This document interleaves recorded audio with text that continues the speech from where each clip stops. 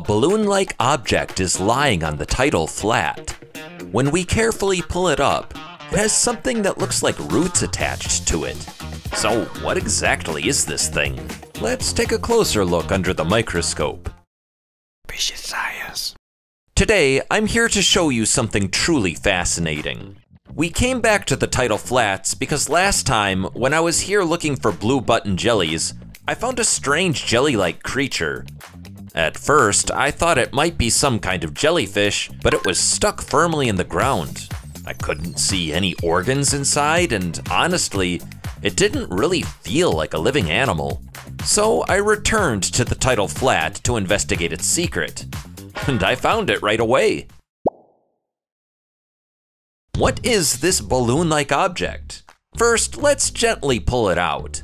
Once removed, you can see root-like parts that have been buried in the mud. I couldn't stop thinking about it, so after placing it in a container, I quickly asked a nearby restaurant for permission to use their space, set up a microscope, and started observing. When I magnified this balloon-like thing, I saw countless tiny objects inside.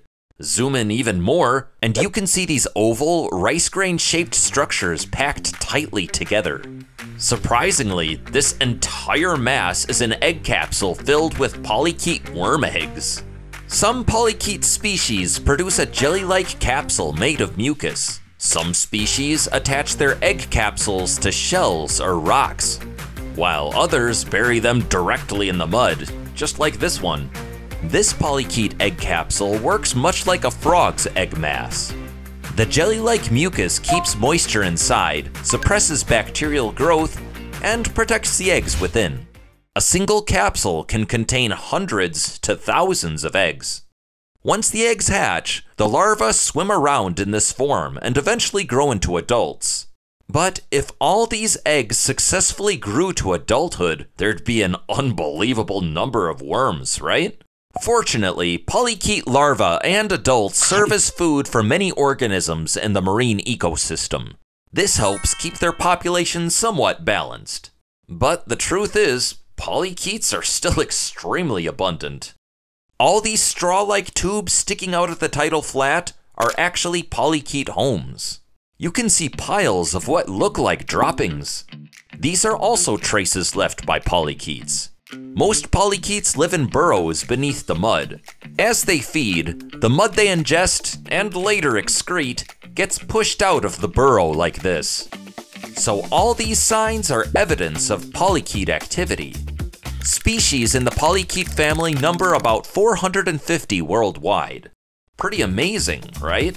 While walking around the tidal flats, we also found many other species. A tiny octopus, mantis shrimp, the mantis of the sea, slaters, fish that hop around on the water's surface, sea pen, or Cavernularia obesa, various shrimp and crustaceans, an incredible variety of marine life.